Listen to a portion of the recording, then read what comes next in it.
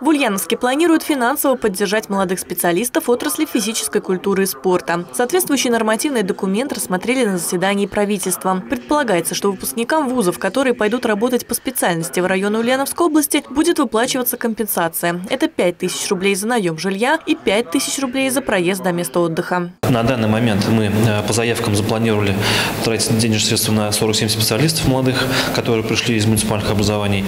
А сумма у нас заложена порядка 900 тысяч рублей. Но помимо этого у нас уже действует э, поддержка молодых специалистов. Это а, единовременная выплата в размере 10 тысяч рублей, ежемесячная 1000 рублей. И мы эти льготы продолжаем использовать и в 2021 году. Также в профильном министерстве разрабатывают проект «Спорт на селе». Согласно ему, молодым тренерам смогут выплатить миллион рублей на покупку жилья. В этом году в бюджет уже заложено 10 миллионов рублей, которые рассчитаны на 10 специалистов. Люди, которые учатся у нас и в УЛГУ, и в УГПУ, хотят работать там, откуда они вышли, то есть на своих территориях.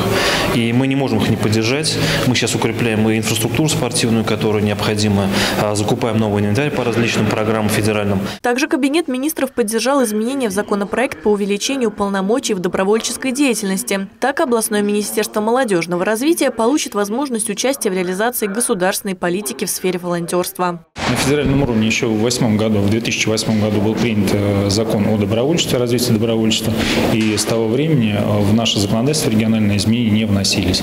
Поэтому мы приводим его в соответствие и дополняем э, полномочия Министерства молодежного развития в сфере развития добровольчества. Изменения, принятые членами правительства, позже будут рассмотрены на заседании законодательного собрания. Анна Тищенко, Юрий Ломатов, Новости Улправда ТВ.